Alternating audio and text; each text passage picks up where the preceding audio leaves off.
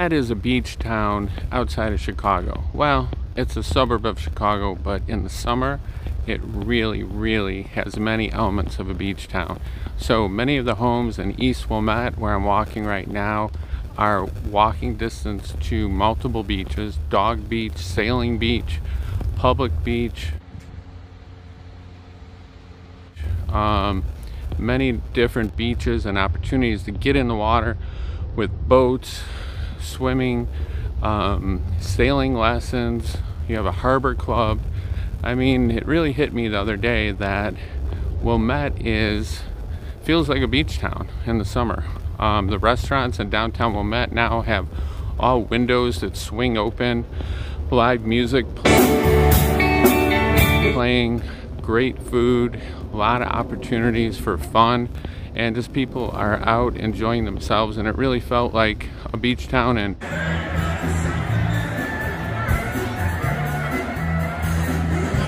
um, you know many different states michigan california wherever you have and um, the home values here of course have skyrocketed over the last five years like everywhere but um, the homes closest to the lake are typically the most expensive and the new construction homes are off the charts. They've gone up in value about a million dollars over the last five years. Um, and there's one right here I'll show you. I'm walking by right here.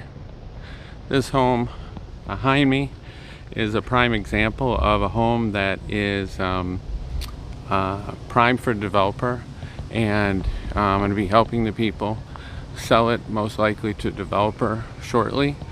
Um, many of the homes are 300 uh, $3 million and the smaller homes that uh, typically would have sold for eight, nine hundred, a million dollars the most are now selling for 1.3 million uh, land for some of the bigger lots to knock down the homes are now a million dollars or more.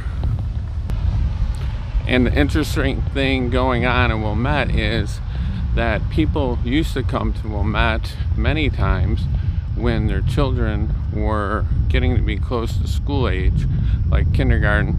And now I just sold a home for 2.5 million uh, down the street and the people are moving in with just a young child, just one child, which is very unusual compared to the past.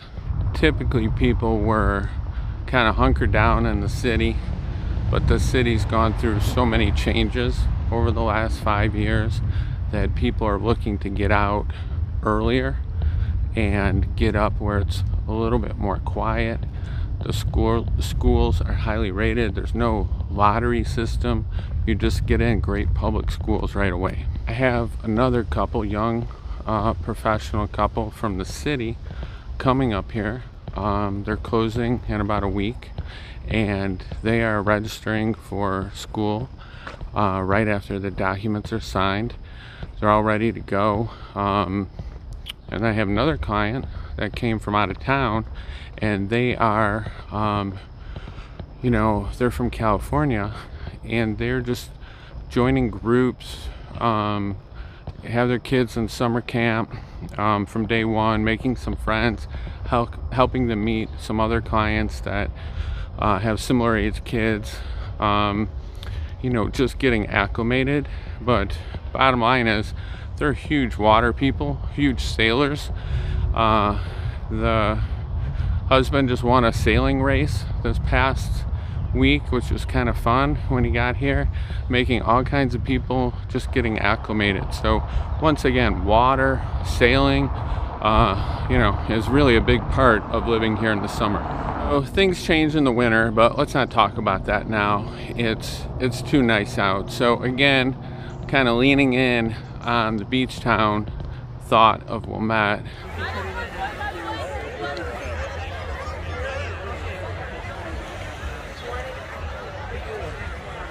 Um, when you uh, go to downtown Wilmette, you can walk to the beach and the sailing boats within maybe 10 minutes.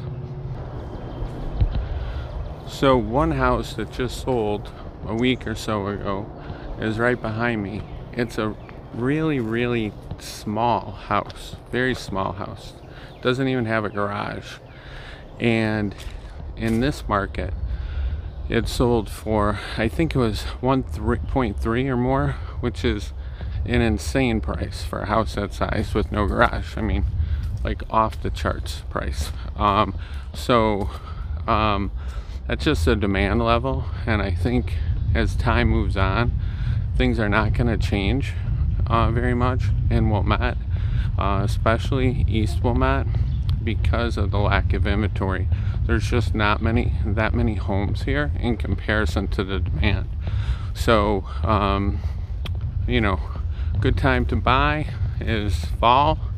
A little bit better, less inventory, but people usually willing to, um, you know, come down on price maybe a little bit more even though I wouldn't really bet on that a whole lot any time of year right now things are pretty darn good Well, Wilmette has some of the best facilities and programs in their park district in the summertime the great Gilson camp down at Gilson Beach is one of the favorites along with the pirate tennis camp which is awesome. Has tennis and all kinds of fun games. Kids love it. Uh, and it's just a great way for kids to make friends before the school year starts and make additional friends. Uh, just, you know, a lot of fun as well as the pool in addition to the beach.